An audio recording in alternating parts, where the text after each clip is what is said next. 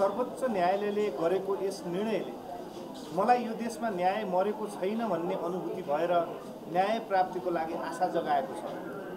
यो निर्णयका निम्ति देशको सर्वोच्च न्यायालयप्रति म हार्दिक आभार तथा सम्मान व्यक्त गर्दछु। न्याय प्राप्तिको लडाइँमा यहाँसम्म आइपुग्दा सत्य न्याय मानवता सदाचार नैतिकताको आंशिक जित भएको हामीलाई अनुभूत भएको छ। यद्यपि यसो भनिरहँदा असत्य अन्याय अन्धकार हाम्रो समाजमा पूर्ण रूपमा निस्तेज भइसक्यो भने कदापि होइन। न्याय प्राप्तिको यस लडाइँमा निडर भएर आवाज अक्षर सर्वेदृश्य र तस्बिरको सहायताले सत्यको पक्षमा उभिने तपाईँ सम्पूर्ण नै यस उपलब्धिको भागीदार हुनुहुन्छ। यसको हिरो चाहिँ तपाईँहरू हुनुहुन्छ।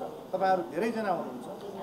मुलुकमा विधिको शासनको प्रत्याभूत गराउन उठाइएको यो ऐतिहासिक कदमका लागि यहाँहरू सबैजनाप्रति म कृतज्ञता तथा धन्यवाद व्यक्त गर्न चाहन्छु। फेरि कुनै पनि बाहना वा कानुनको छिद्र खोतलेर न्याय प्राप्तिको यस लडाइँमा मलाई बाधा अडचन सिर्जना गरेमा म फेरि तपाईँहरूको साथको आह्वान गर्दै प्रतिकार गर्न सडकमा आउने नै छु।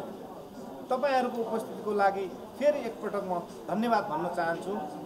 न्यायको लडाइँ जारी रहनेछ। धन्यवाद।